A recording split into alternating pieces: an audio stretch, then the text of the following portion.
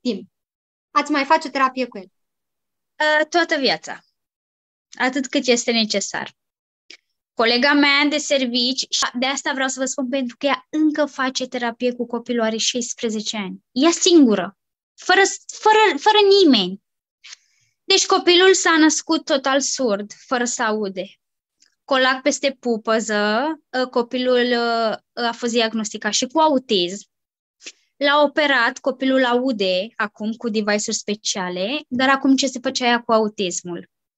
Nu a știut de unde să înceapă. A început ea singuric, așa, să se uite pe internet, din afară, din tot felul de țări. Colega mea este din Cipru. Acum câteva zile s-a dat uh, bacul în, uh, în uh, Anglia și, bineînțeles, copilașul ei la fel și a venit foarte fericită la mine. M-a strâns în bață, a început să plângă și a spus a luat, a luat cu notă maximă.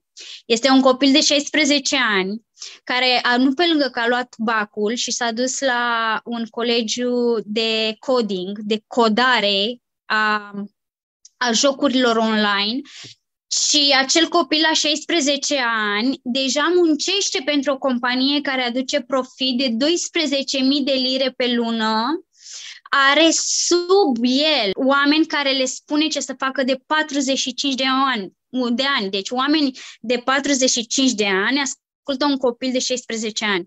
Este total funcțional, total verbal, total sociabil, deci el socializează cu toată lumea. Deci dacă ea a putut și gândiți-vă, ok, noi avem un diagnostic de autism, ea a avut un copil total surd, într-o surzenie totală. Nu înțelegea ce îi spune, nu înțelegea, nu îi spunea, dar el nu înțelegea.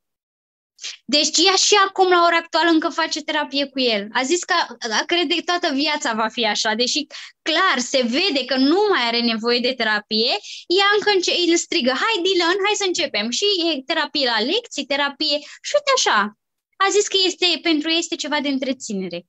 Asta voi face și eu, cât, cât va fi necesar cât dacă Denis până la 18 ani, 25 de ani, nu știu, 30 de ani, el necesită, atât timp cât sunt sănătoasă și Dumnezeu mă ține în viață, atât, atât o să-i predau în continuu. Mami înveață și predă.